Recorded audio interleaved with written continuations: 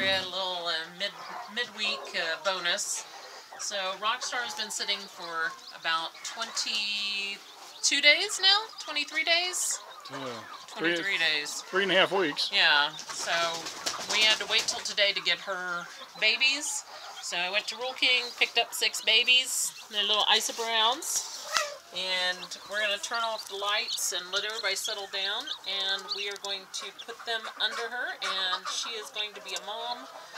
She had eggs that didn't, uh, didn't hatch. So, And those golf balls ain't gonna hatch. no. A cute little baby. Oh. Probably three days old. I know this is awful light, but we're trying to balance getting something on film with not disturbing everyone. There is Rockstar. And the happy wife is going to reach up under there and grab the eggs and golf balls. A whole handful. She is clamping onto my hand. Mm-hmm. She knows I'm doing something. Okay, so you grabbed a couple of chickies. Mm-hmm. You're to just place them underneath.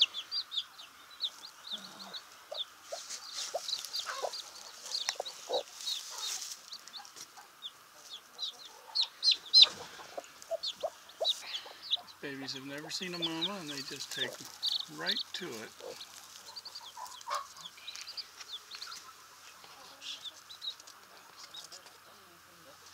All helped. You get six babies. She's a little tired and disoriented. Can't see very well. And she's going to be very happy to have some babies under her. She's going to be a happy, happy, happy mama. Aren't you? Good Rockstar. You're a good rock star. They're nice and warm under you. Good morning, Rockstar. How are you? You take your babies okay? Are you happy chicken now? Hold on.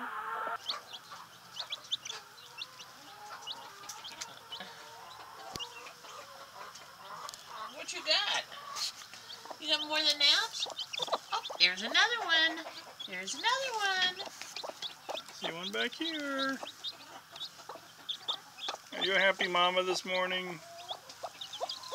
Just happy chicken acres? We can move you now.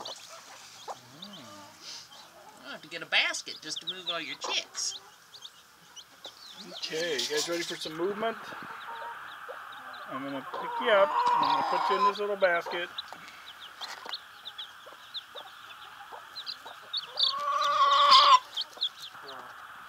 Six chicks in a basket. Hey, that's a six-piece nugget meal. Yes. There's your babies. Come on. Right here. There.